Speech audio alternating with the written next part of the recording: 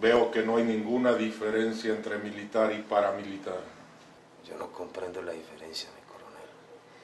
Ustedes nunca comprenden nada. Siempre necesitan de una mano dura que les enseñe cómo se deben de hacer las cosas.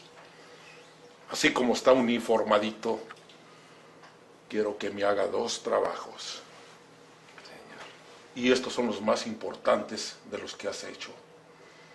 El primero, quiero que me des de baja al señor ministro. Se le ha aflojado mucho la lengua con ese maldito vicio del guaro. Mi coronel, ¿y quiere que lo haga de una manera especial o a mi manera? Te voy a ayudar un poquito.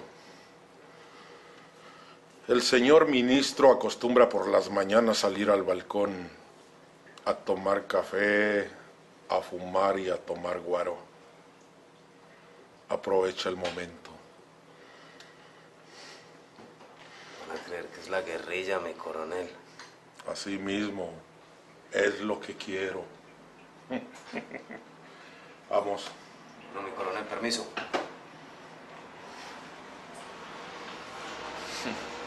Estoy muy cerca a la presidencia.